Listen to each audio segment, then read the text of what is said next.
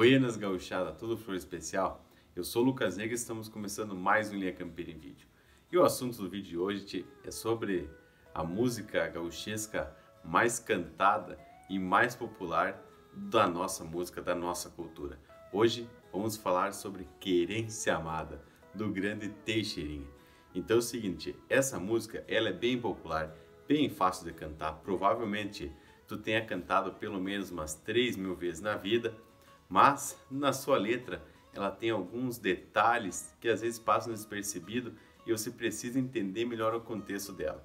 Então é o seguinte, antes da gente ir pro vídeo, tem um recadinho especial para vocês. Boa garota, tudo foi especial. Aqui é a Anitta e hoje estamos fazendo mais um Linha Campeira! Uhul! E vocês vão ter que seguir Linha Campeira Oficial lá no Instagram. Beijinhos! Então, Tchê, agradou o chasque da Anitta? É bom obedecer essa guria aí. Querência Amada, ela é de autoria e composição do Vitor Matheus Teixeira, mundialmente conhecido justamente por Teixeirinha. Ela foi lançada no ano de 1975 e foi apareceu pela primeira vez no LP Aliança de Ouro.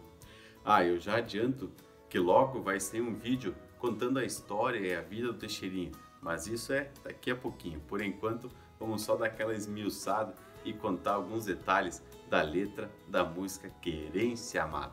Quem é gaúcho e mora fora do Rio Grande do Sul, com certeza, tia, em algum churrasco ou em algum evento, em algum lugar que chega, logo as pessoas comentam: Ah, gosto muito de música gaúcha, tem aquela lá da Querência Amada, ah, gosto muito daquela música, acho louca de bonita letra, essas coisas assim. Eu já tinha em diversos churrascos que eu fiz por esses mundo afora aí, vira e mexe a gente se reúne e sempre tem um violeiro ali na volta, um gaiteiro, e eles já falam, ah, vamos tocar uma música gaúcha. E 99% das vezes eles começam com Querência Amada. Uh, tem muita gente que não gosta da música, que acha ela muito simples e coisa, mas é aquele negócio de a simplicidade dela é o que torna ela bonita e universal para todos. Todo mundo que ouve Querência Amada, já nos primeiros acordes, se remete ao Rio Grande do Sul e à cultura gaúcha como um todo. Quem quiser saber quem sou, olha para o céu azul e grita junto comigo, viva o Rio Grande do Sul. Tia, mas esse verso aqui a gente não tem nada que explicar. A música começa muito bem, tia. É um dos versos mais bonitos que a gente tem da nossa música. O lenço me identifica, qual a minha procedência? Da província de São Pedro, padroeiro da querência. O lenço, de fato, é um dos principais itens da pilcha que mais identifica o gaúcho. É muito difícil, tia, no imaginário popular, tu conceber um gaúcho sem ele estar tá usando o lenço. E geralmente, tia, ele identifica como maragato ou como chimango. E ser da província de São Pedro é ser do Rio Grande do Sul, porque província de São Pedro antigamente era o nome do Rio Grande do Sul. E historicamente nós já tivemos alguns nomes do nosso estado uh, que são relacionados ao nosso santo padroeiro, principalmente desde a primeira vez que ele foi localizado, lá nos tempos de Martim Afonso de Souza, nas primeiras viagens dele, como depois a gente teve a capitania de São Pedro, Rio Grande do Sul, e depois a província de São Pedro, Rio Grande do Sul. Só depois que ele virou o estado do Rio Grande do Sul.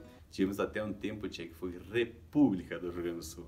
Ó oh, meu Rio Grande, de encantos mil, disposto a tudo pelo Brasil. E neste verso, o Teixeirinha ele faz questão de trazer a mensagem de integração, de união do Rio Grande do Sul com todo o Brasil. Querência amada dos parreirais, da uva vem o vinho, do povo vem o carinho, bondade não quer demais. E como bem sabemos e como bem tomamos, os vinhos gaúchos sempre foram tidos como excelentes e o Rio Grande do Sul é referência na produção de vinhos.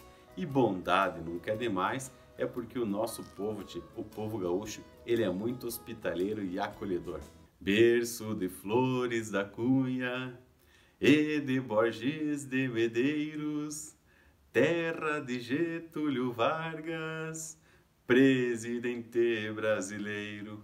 Estão vendo por que, que eu botei o lenço branco? É por causa dessa estrofe aqui.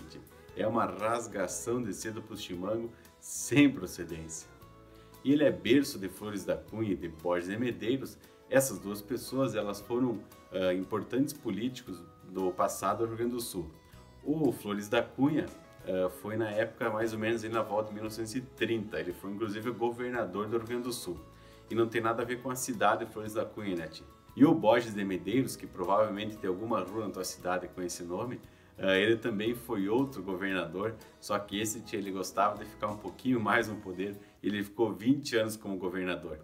Borges de Medeiros, a gente tem praticamente um vídeo especial sobre ele, que na verdade é sobre o Antônio Chimango, que foi ele que inspirou o personagem. É só dar uma clicadinha no card aí que tu pode assistir o vídeo sobre Antônio Chimango. E o Getúlio Vargas, esse te dispensa apresentação.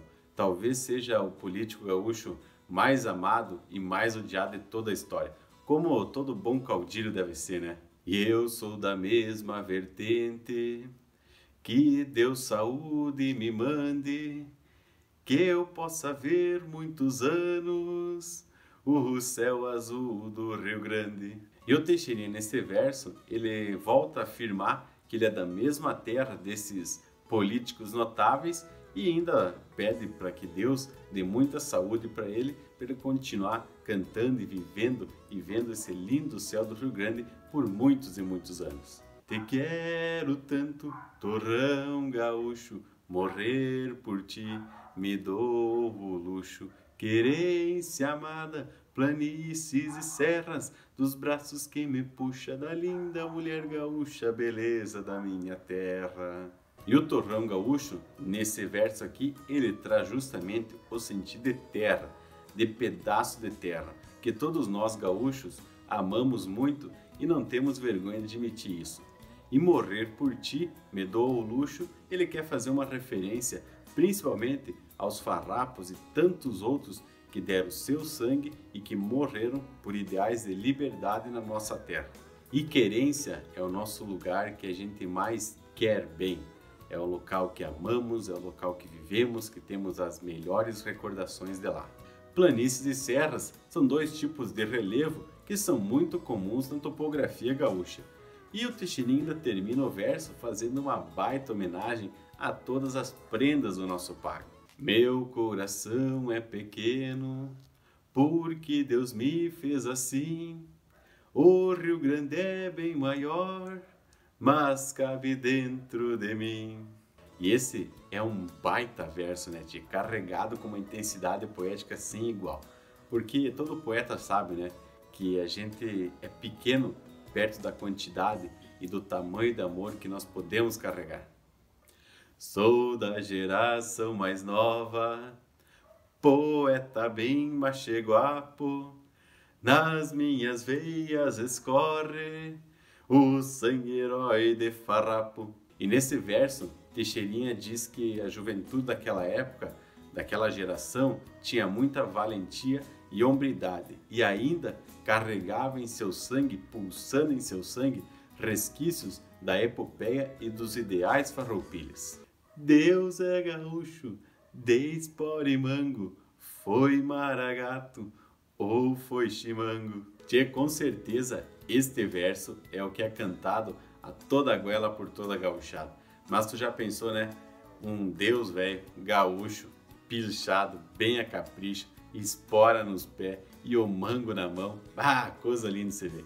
E para você entender quem foram os maragatos e quem foram os chimangos, tem um vídeo especial aqui no card para tu assistir mais tarde. Querência amada, meu céu de anil, este Rio Grande gigante, mais uma estrela brilhante na bandeira do Brasil. Tchê, eu tenho um desafio para ti agora. Tu sabe qual que é a estrela que representa o Rio Grande do Sul na bandeira do Brasil? Dá uma olhadinha aí. Essa aí, que está piscando em verde, vermelho e amarelo. Essa é a estrela alfa do Triângulo Austral. Aposto que essa tu não sabia de jeito nenhum.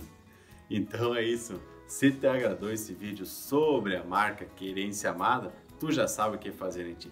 Clique no botão gostei, compartilhe no teu Facebook, envie no WhatsApp para toda a gauchada e ajude a linha campeira a esparramar ainda mais se nossa rica cultura muda fora. De resto aqui, tchê, só resta deixar um abraço, velho, do tamanho desse universo gaúcho e até o próximo Linha Campeira. Tchê, não sei fazer sem mate, né? Mas que momento.